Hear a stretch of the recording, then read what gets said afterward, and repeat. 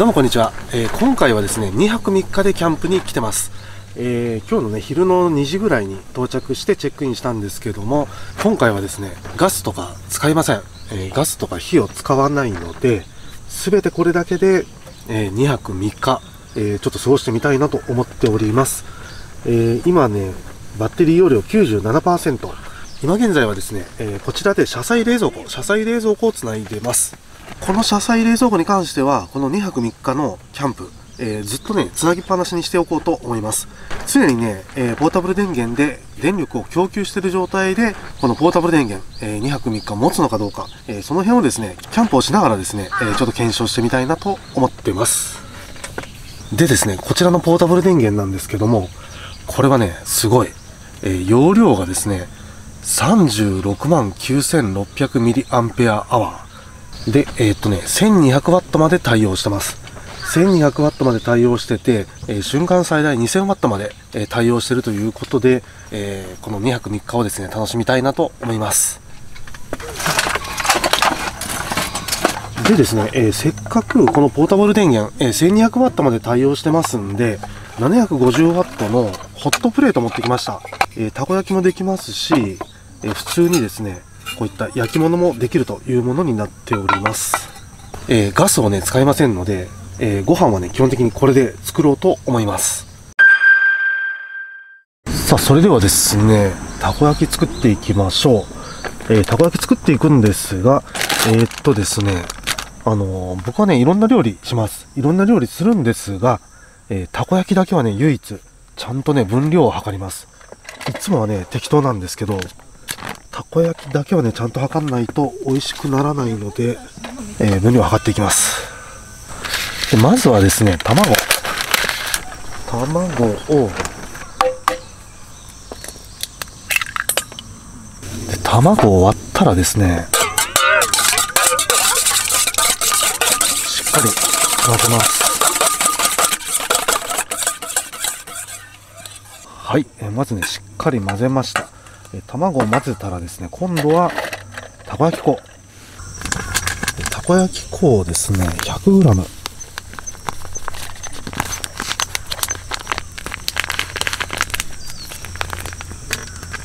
100g 測ったら、この中にね、入れていきます。先に水入れるべきだった。水をね、450ます。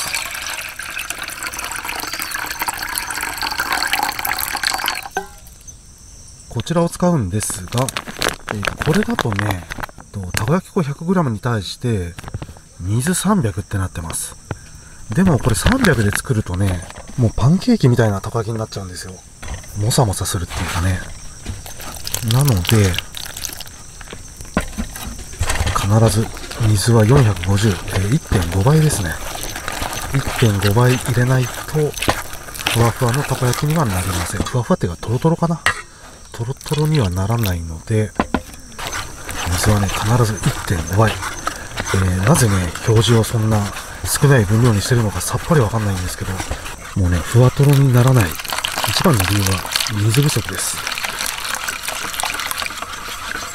300とかだとこれぐらいなのかな ?300 これぐらいで、まあなんか、できそうではありますよね。できそうではあるんだけど、実際ね、これで作ると、もう、パンケーキです。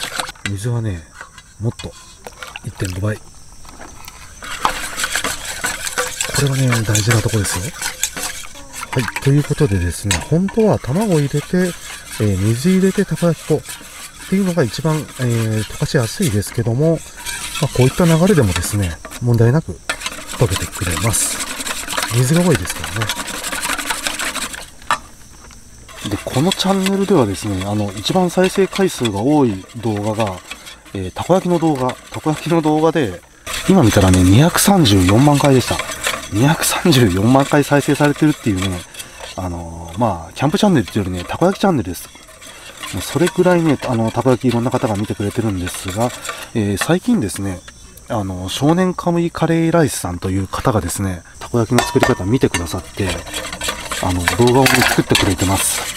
なので、あの、ぜひですね、少年カムイカレーライスさんのチャンネルの方も見ていただければなと思います。うちの動画もですね、しっかりと紹介していただいてます。で、えっとね、一番再生されてる動画だと、これで作りました。これで作ったんだけど、その動画をアップしてからですね、えー、元銀だこ店員さんとか、えー、いろんな方がですね、アドバイスくれまして、ここにね、桜エビ、桜エビを入れていきます。桜エビ入れるんですが、このまんまだとでかいので、で、えー、ある程度潰れたらですね、この中に入れていきます。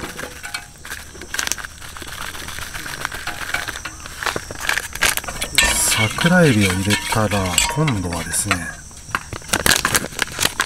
青のり、青のりもここに入れます。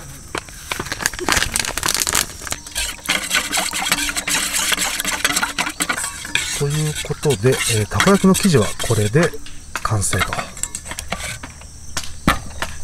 で、ここからはですね、ちょっとズルしちゃう感じになるんですが、えー、このね、フードチョッパー、フードチョッパーを使っていきます。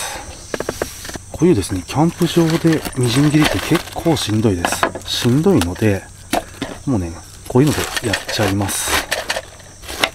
あのね、たこ焼き動画もあの、キャベツをたこ焼きに入れるのかとか、そういったことでね、論争が巻き起こったりもしてたんですが、えー、僕はね、迷うことなく入れますね。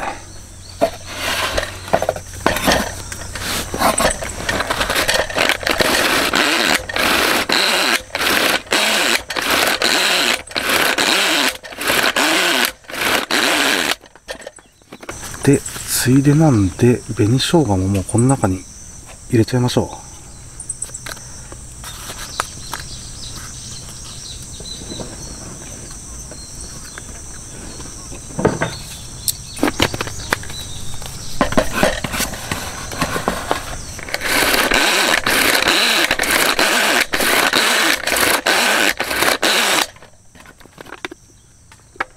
はい、えー、これでみじん切りは完成ですと。手もね、あんまり汚れないからね、これ楽でいいですよ。じゃあ、ここで、プラス、プラスチーズですね。チーズを切っときます。えー、僕のたこ焼きにはですね、タコが入りません。なので、代わりにチーズです。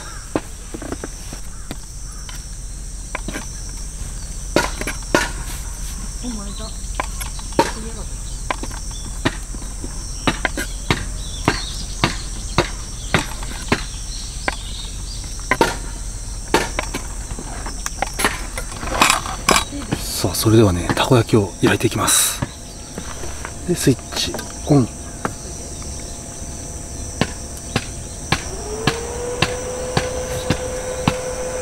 はい、えー、今ねスイッチがつきまして884ワット使ってます。さあそれではここに油。今日ね残念ながらあの油を忘れてきちゃったんで、えー、ごま油でいきます。さあこれでもう適当に塗っていきます。で先ほど計量したものでどんどん入れていっちゃいましょう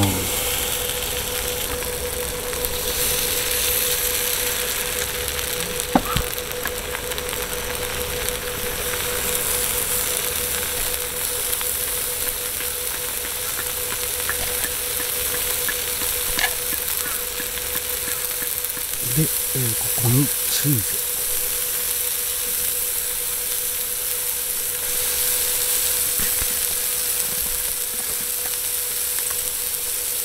ネギ。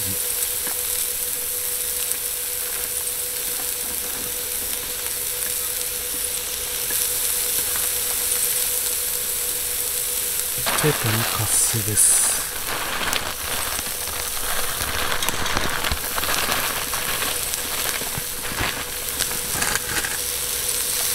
したら最後生地で閉じる。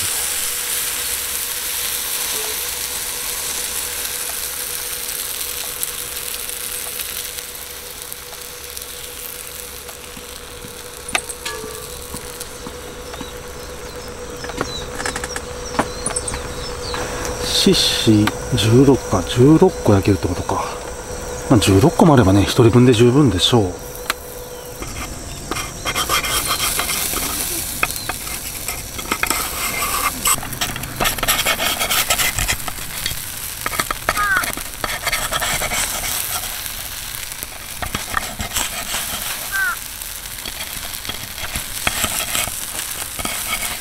さあこれであとはひっくり返していくだけと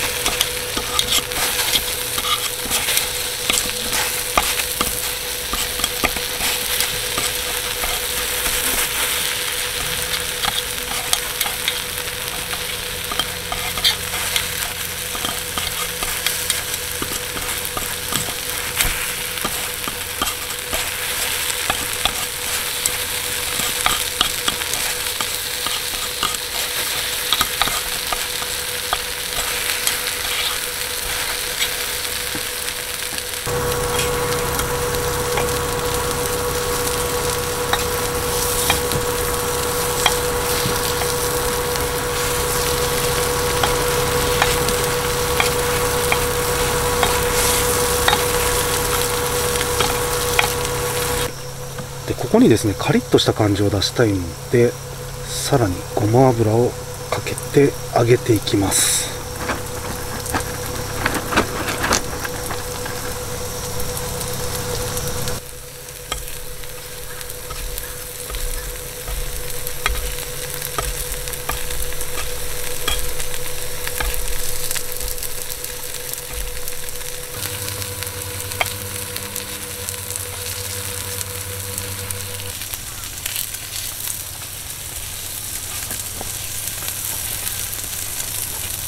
さあそれではですねたこ焼きいただいていきたいと思うんですけれども、えー僕のねちょっとしたこだわりみたいなのがありましてまずねソースはね絶対オタフクソース。これはねもうね子供の頃からね絶対オタフクソースなんですよ。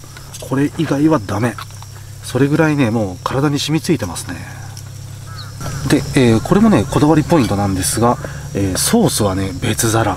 これやらないとなんかね食べてく最中にこうどんどんねせっかくカリカリになったたこ焼きがどんどんしおれていっちゃうんで僕のね譲れないポイントとしては、えー、おたふくソースを使うということと、えーソースはね別皿に盛るというのが、えー僕のこだわりポイントです。じゃあこちらもね金麦です。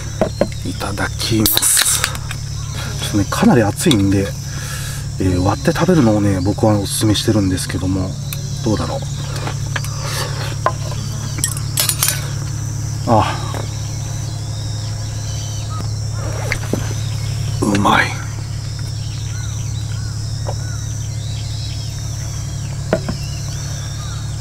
やー美味しい。たまらんですね。たまらんこれは。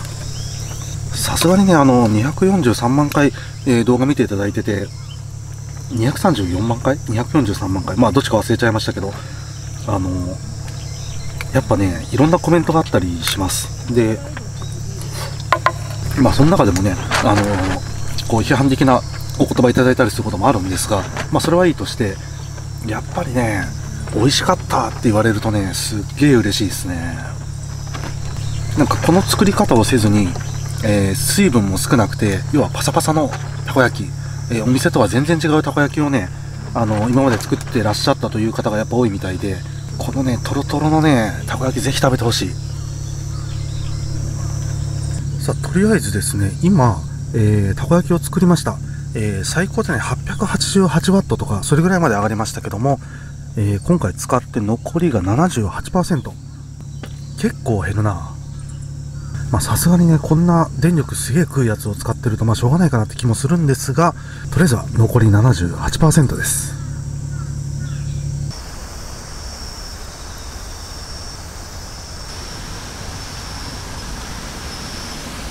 はい、えーということでですね、えー夜になりました、えー夜というかまあ夕方なんですがだいぶね日が短くなりました。今ね明かりはね1個だけなんですけどもまあこれでうん。ソロキャンプだとやっぱり十分かなという感じがします、えーでですね今日はとりあえず2時ぐらいに、えーキャンプ場に来ましてそこからですね設営とかして、えーまあ晩ご飯食べてですね。で晩ご飯も、え、ポータブル電源で、え、作りまして、え夜を迎えたという感じなんですけども、まあ、そう考えるとですね、1泊2日のキャンプっていうのは、もう、あっという間なんでしょうね、やっぱり。で、え今回はですね、2泊3日ということで、明日はですね、朝から、えまあ、朝ごはん作って食べた後に、えせっかくね、ポータブル電源 1200W まで使えるものがありますんで、えここでね、ちょっとね、編集作業しようかなと思います。えキャンプ場で編集作業をするっていうのもね、まあ、すげえなと思うんですけど、もしそういうことができるんであればですね、え、このポータブル電源、え、ポータブル電源がある意味もね、また増えるのかなと思います。まあ、こうやってですね、キャンプ場に1泊2日とか2泊3日とかするとですね、どうしてもあの、ここにずっといないといけないじゃないですか。で、えー、僕はですね、あの、編集したりとか、え動画アップしたりとかするっていうことを、え主に行ってますんで、まあ、こういったところでね、編集ができれば、まあ、それに越したことはないのかなと思います。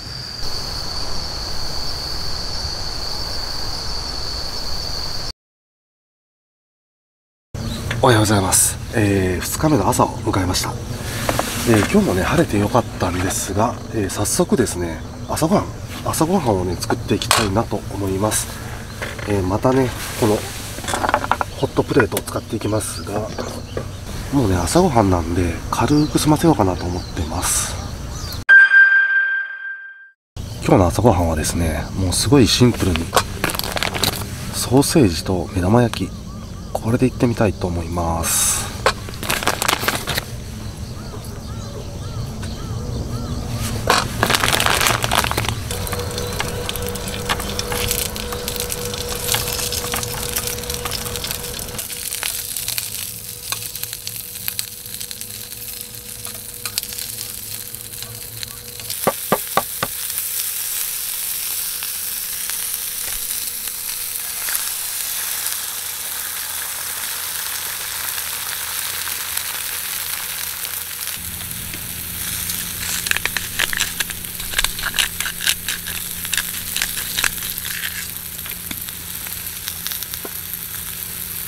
さあそれではいただきます。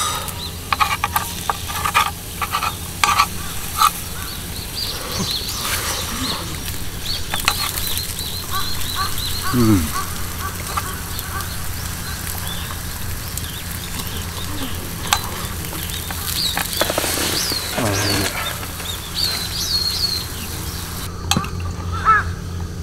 目玉焼きのね楽しみはねこの黄身をねずるっといくとこでしょうね。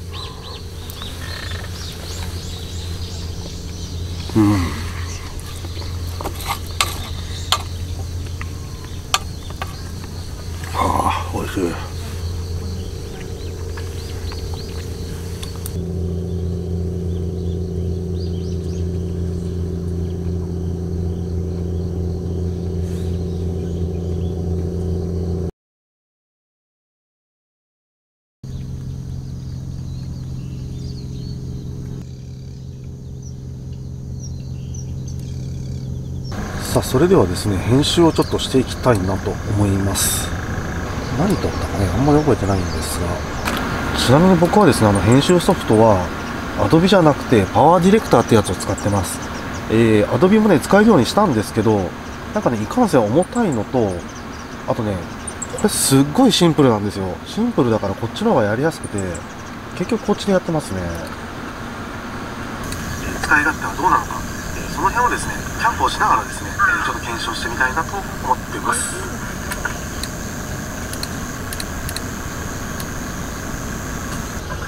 でね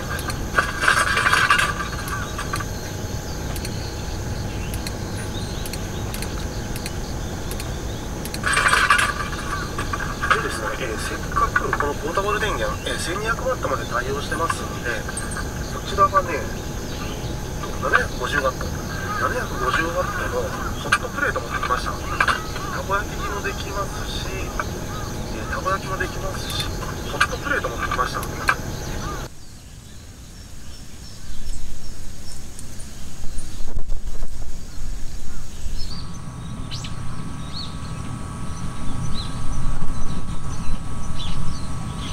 えー、今日はね、昼ご飯はね、結局食べませんでした。っていうのもね、朝ごはん食べてから全く動いてません。全く動いてないんで、ここでね、ちょっとパソコンで編集してたのと、あと映画を見てたぐらいで、全く動いてないので、なんかね、やっぱお腹が空かなくて、昼は食べてないんですが、ただね、今日の夜ご飯はですね、えー、昨日の買い出しの時から、えー、考えてきてます。今回はね、関西風お好み焼き。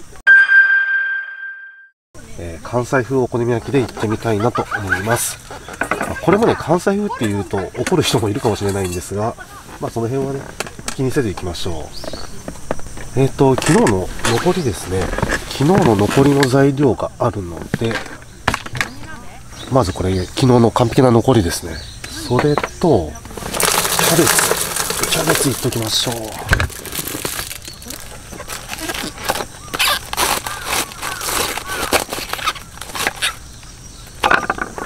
もうね、昨日と同じ感じで、適当に込んでいきます。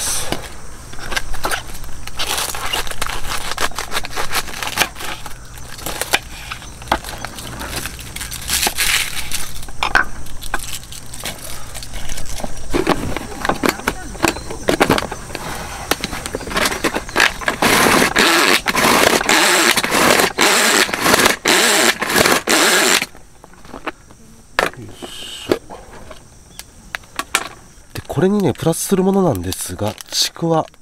ちくわもね、僕は必ず毎回入れてます。関西風の場合はですね、まあ、とりあえず2本もあれば十分でしょ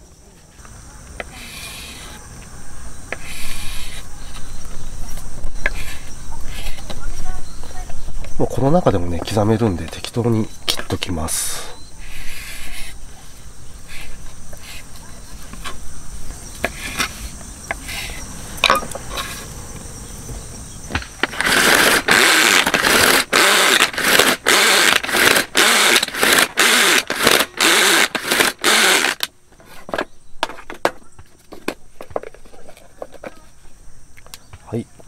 で刻めました。刻めてないところもあるな。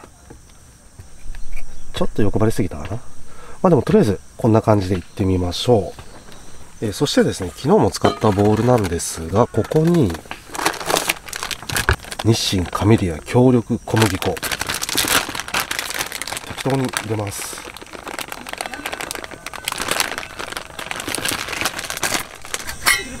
で、水もちょっと足して、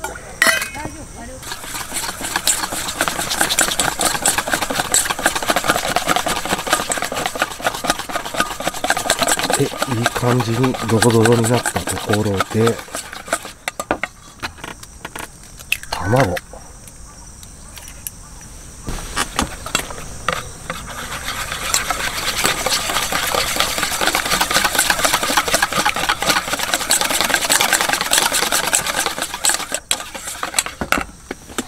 で、えー、先ほどのものを全部入れちゃいましょう。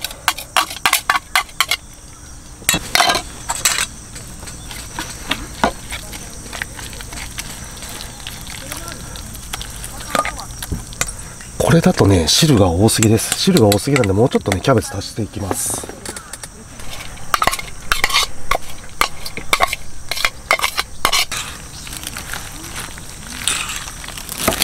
で、ここにまた紅生姜ですね。紅生姜を、もう汁ごといっちゃいましょう。加えます。そして、天かす。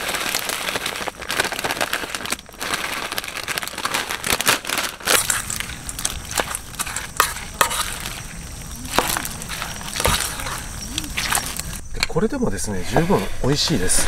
十分美味しいんですが、さらにこれを入れます。カレー粉。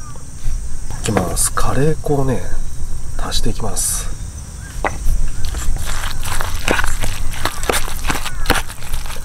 カレー粉を入れるとね、かなりあの味が引き締まるので、おすすめですよ。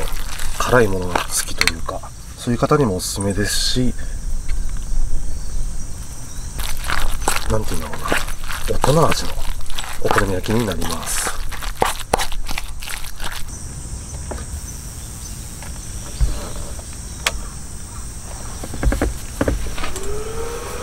さあ焼いていきましょう。よ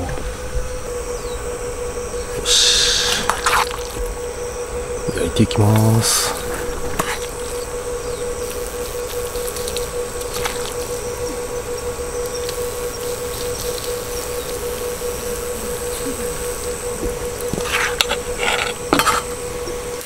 今バッテリーがですね、残り31%、えー、そして 822W を使ってます。カレー粉のね、いい匂いがします。これぜひね、家でもね、カレー粉入れて作ってほしいなよ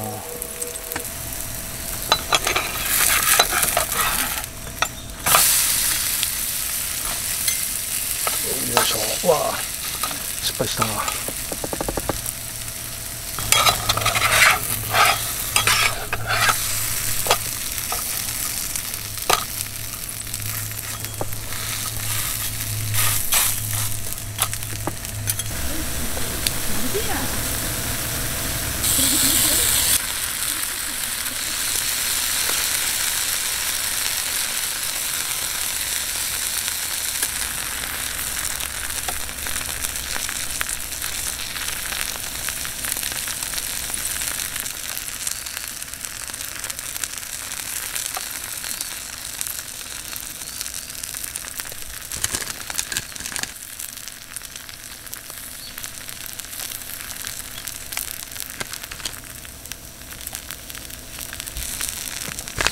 これもいっちゃいましょう。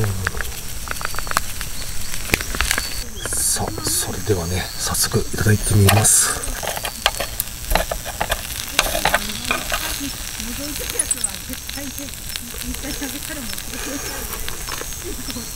うん。うまい。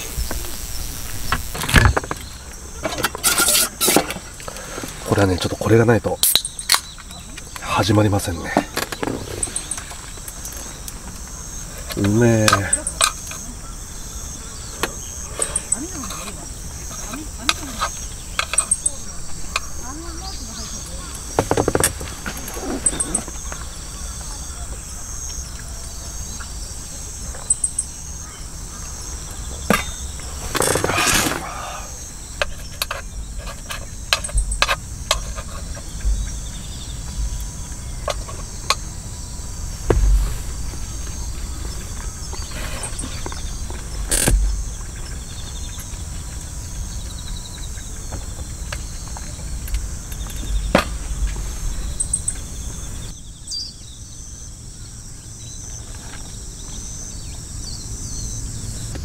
さそしてですね最後に野菜。今回ねあのー、気がついた方もいらっしゃるかもしれないんですけど野菜をねめっちゃ食べてます。いや野菜をめっちゃ食べてるってこともないか。なんか野菜をめっちゃ食べた気になってます。まあ、食べた気になってるということでですね、えー、まあちょっとついでにサラダも食べてみようじゃないかということで、えー、昨日ね買っときました。連泊だとね、なかなか移動できないからきついですよね。テントをまた張り替えるのもめんどくさいし。よし。あ、でですね、えー、正直あれです。ポータブル電源を使って、まあ、あの、動画を撮ってましたけれども、えー、今回ね、ポータブル電源がもう電池切れになりました。なので、もうここからはですね、あんまり撮影とか考えずに、純粋にキャンプを楽しもうと思ってますので、もうね、好きに過ごそうと思います。まあ好きに過ごすって言ってもですね、映画を見たりとかまあそんな感じになっちゃうんですけど、ここね、目の前がこんな感じになってるんですよ。で、それを超えるともう海なんですけど、まあ風よけだからしょうがないっちゃしょうがないんですけど、うん、こういうのないとまた気持ちいいでしょうね。明日はまた早いうちに帰って、そうですね。ちょっと撮影してまた編集してアップしてっていう感じなんで。なかなかですね時間の余裕ができないんですけど。まあでもそれはそれで楽しいのかなと思ったりします。で明日帰ってからですよね、えー、子供たちともねちょっと遊んであげたいので。それもまた楽しみだなは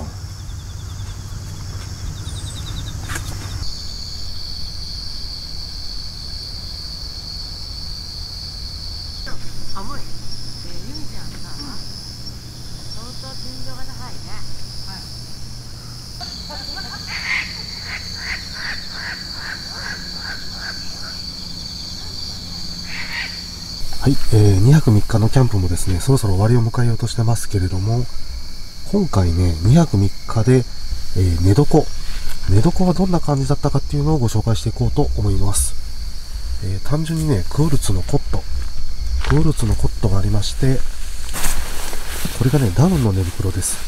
えー、1万円以下の寝袋ですけども、もうね、3年ぐらい使ってるのかな、下手したら。ずっとね、問題なく活躍してくれてる、え、1万円以下の寝袋です。で、僕はですね、枕がないと寝られない人間なので、えー、こんな感じでですね、えー、バスタオルを巻いて、ここだけちょっとアナログなんですけど、えー、こんな感じでですね、枕として使ってます。まあそんな感じでですね、椅子の後ろに、えこういう風にコットを置いて、え2泊してみました。してみましたっていうか、これから2泊目ですけどね。